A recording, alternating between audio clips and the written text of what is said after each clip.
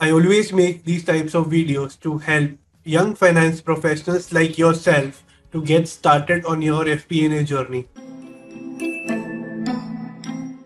Hey, in this video we are going to look at how to do a simple variance analysis that is a actuals versus budget comparison.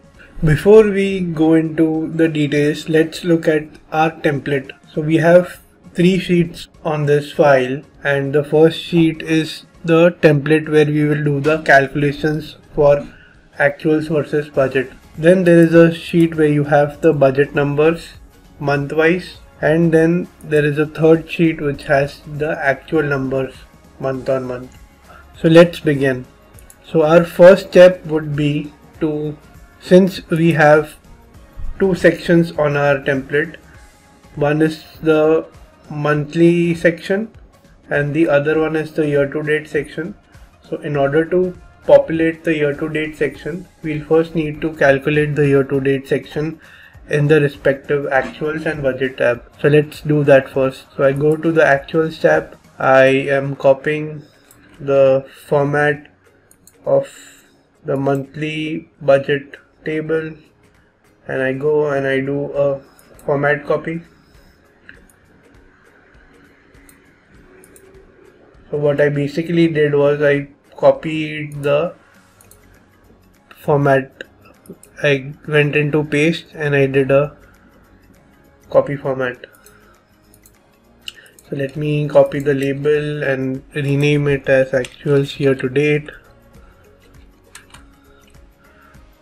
Copy the labels here as well. Now I'll formulate this section let me put a sum here.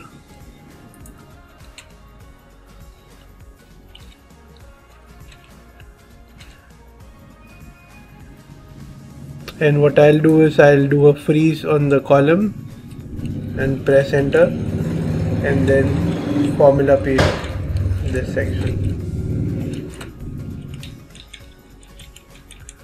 Alt hvf which is pasting formulas let's see if this works.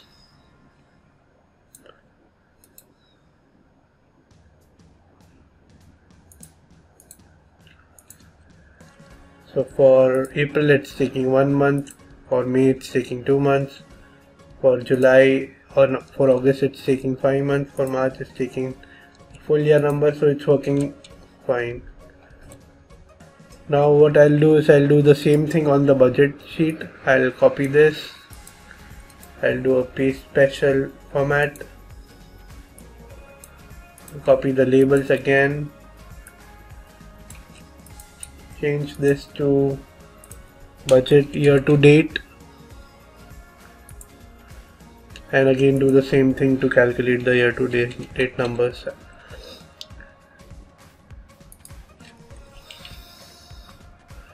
Freeze this column so that it doesn't move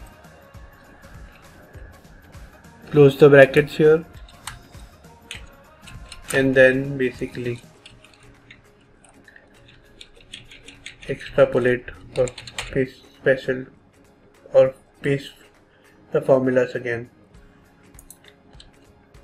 As you can see uh, the monthly year to date numbers have been updated in this section. Alright so next step what we do is we will create a so since we want to do a dynamic table by dynamic what I mean is we want to change the months when we change the drop down. So we will create a data validation first. So let me put a month in here with I'm just making sure we have it in the same format as we have it on the sheet. We'll pick April and what I'll do is in order to create a drop down list I'll first create a source for data validation.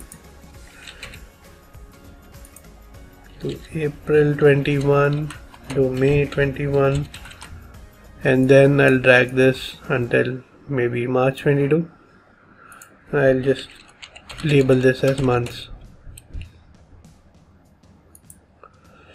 Now what I'll do next is I'll go here on the month cell and I'll go to data. I'll get inside data validation. On the data validation box I'll select allow list and I'll then pick our list and the key. Press ok. Hope this let's see if this works. Yeah it works. So we got the months drop down ready. Next is what we will do is we want to use a HLOOKUP formula to formulate this table so that when we change the month it automatically updates the values as well. It automatically updates the values as well. So let's do so in order to do that let's give a lookup reference.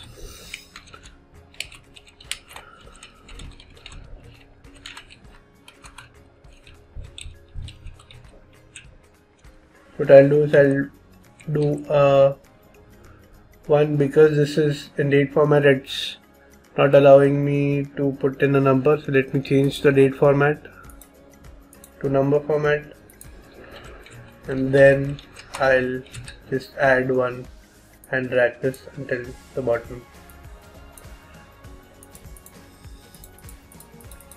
So basically this is a reference that we'll use to pull. Basically this is the reference we'll use inside our HLOOKUP formula. Alright so let's try the HLOOKUP formula. We want to look up the month so this is the actuals column so we'll go to the actual sheet. From this section basically we'll freeze the month we'll freeze the table selection and we'll select a reference. So we need to do the reference on both the sheets okay let's again try the HLOOKUP formula. Select the month freeze it select the source table which is actuals month freeze that and then select the row reference. We'll not freeze this because we need this to move when we change the rows. Okay I'm just doing a control D or a formula paste in the cells now.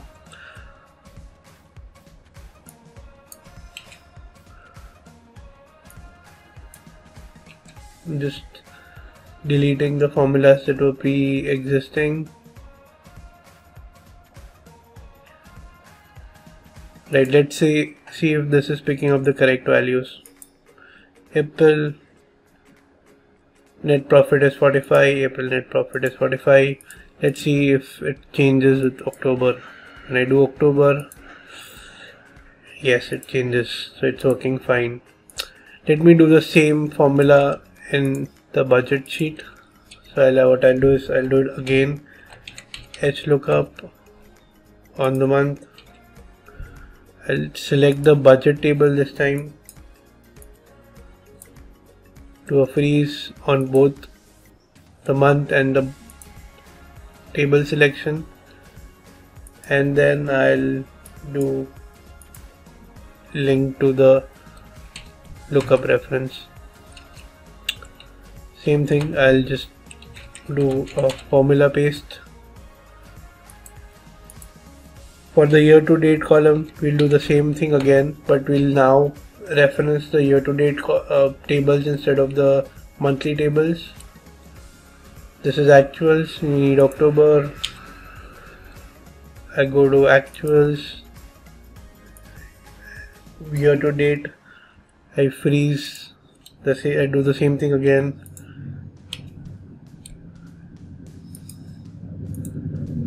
Select the reference and then I just do a formula paste again repeating the same procedure but now for the year to date budget numbers.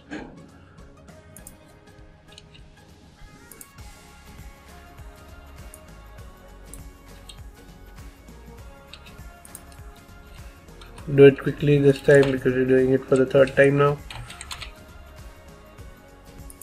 something went wrong because I did not freeze the month here let me do that and try again. Okay. Alright let's now test if this is working fine. Uh, let's just do Jan 22 and see if the year to date numbers are matching for actuals and budget. Our actual net profit is 477 let's go to Jan 22 YTD our actual is 477 so that's that is working. Awesome. I do check the budget it's 476 and it's 476 uh, January month budget is 49 January month budget is 49 alright so our formulas are working fine. Uh, now let's move on to the percentage of sales section. So in this what we'll do is we will calculate a percentage of the sales for each of the line items. So for example for discount we'll do a percentage of gross sales.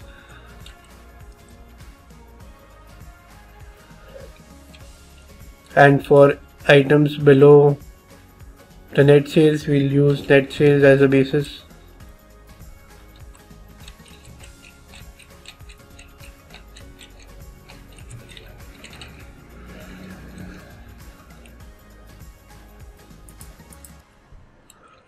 again I'll do the same thing here?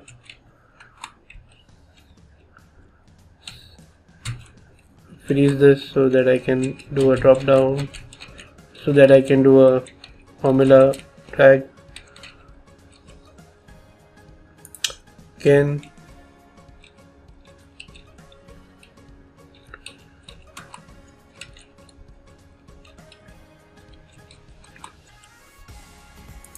I'm freezing the notice I'm freezing the uh, net sales cell so that it remains constant when I drag the formulas down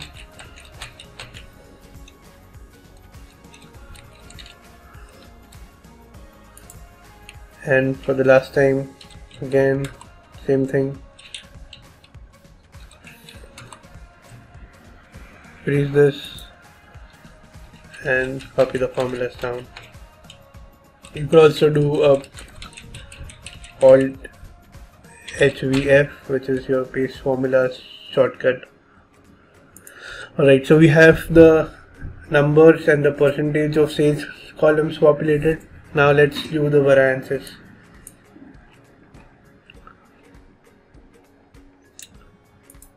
So for gross sales your variance would be actuals minus the budget. So you did um you did higher than your actual so it should be positive?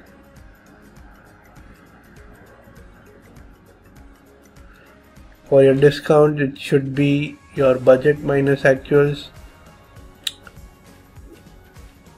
Because you gave away less discount than you budgeted which is a good thing right? So it should be a positive number.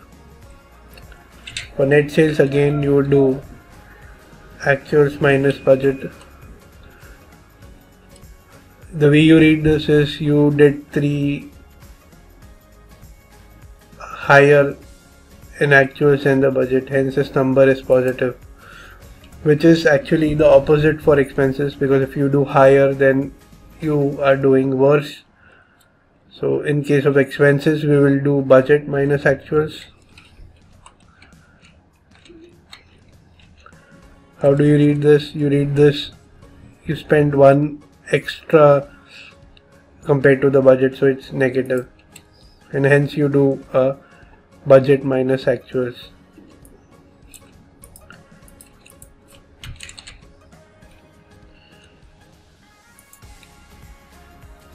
Hmm.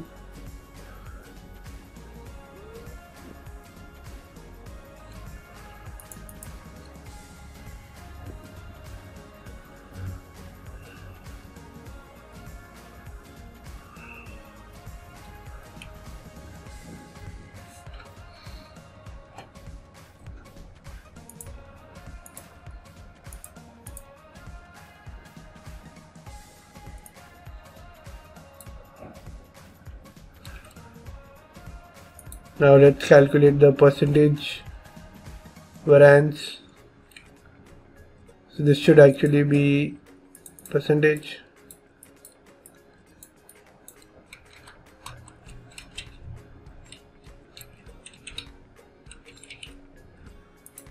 Variance.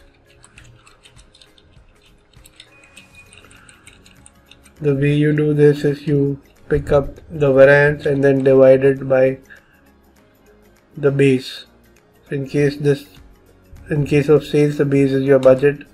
You did basically better than your budget. For discounts your base is your actuals. So you did 18% better in terms of your discounts like give you gave less discounts. You can copy the formula for gross sales for net same as for, for net sales and basically for all the expenses.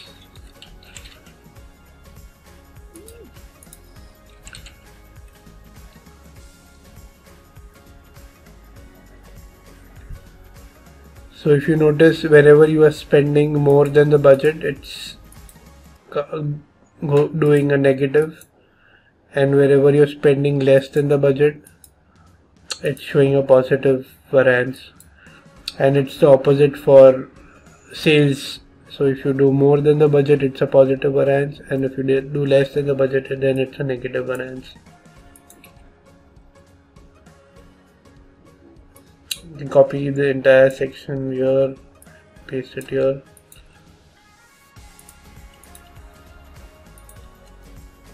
And I think we are done with our variance calculations.